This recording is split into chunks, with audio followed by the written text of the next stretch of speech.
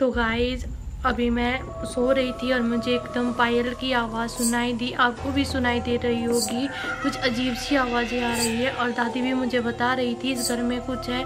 तो गाइज़ मुझे बहुत ज़्यादा डर लग रहा है और मैं देखूँ, मुझे बिल्कुल पसीना आ रहा है, बल्कि पंखा भी चल रहा था। पंखा भी लाइट चलेगी और जो पंखा है, अपने आप बंद हो गया।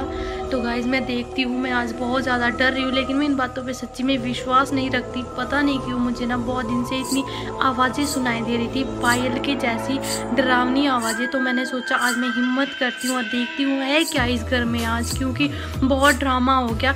मेरे साथ कोई मज़ाक कर रहा है यार सच्ची में ऐसा कुछ है तो मैं देखती हूँ, पहले लाइट ऑन करती हूँ। मैंने सोचा, क्यों नहीं ये वीडियो आप लोगों के साथ शेयर करूँ? और रात का टाइम है तो पहले मैं लाइट ऑन कर लेती हूँ। गाइज़ मैं अभी उठ गई हूँ। तो गाइज़ मैंने अभी लाइट ऑन करी तो लाइट नहीं है।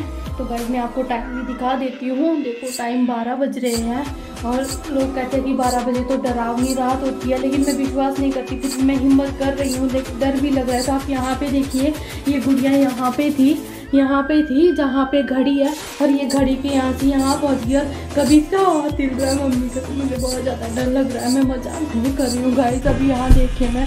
बाहर जाने की कोशिश करी लेकिन मुझे बहुत ज़्यादा डर लग रहा है। दरवाजे भी अपने आप खोल रहे हैं। पता नहीं मेरे साथ क्या हो रहा है।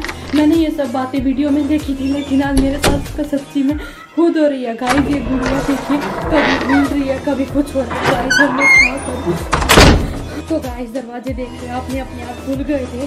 तो वैसे मैं इन बातों पर विश्वास नहीं करती, लेकिन आज मुझे इसमें बहुत ज़्यादा डर लग रहा है। तो गाइस मैं बाहर जा रही हूँ तो देखती हूँ बाहर क्या कुछ है। ये बुढ़िया ये बुढ़िया मुझे बहुत ज़्यादा डर लग रहा है। दादी भी नहीं है यहाँ पे, दादी भी